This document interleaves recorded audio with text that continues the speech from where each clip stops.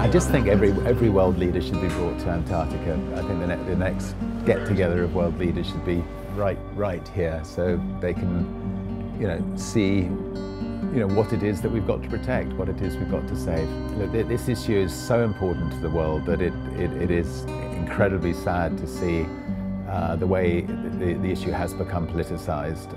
All, all, all, I would do is urge people to um, you know, look at the facts and, um, and realise that you know, we do only have one world. A lot of this problem can be fixed by um, you know, just cutting out you know, wasteful habits. I just think that any, anybody who's in a position to make a difference has got to try to um, you know, stick their neck out and make a difference. And all the profits that we make from our dirty businesses, our airline businesses, our you know, train businesses, um, you know, we, we, we invest 100% of those profits into trying to develop uh, clean fuels. And, um, and, you know, I'm hopeful that, you know, within five years, all our planes will be flying on fuels that will not be damaging the environment.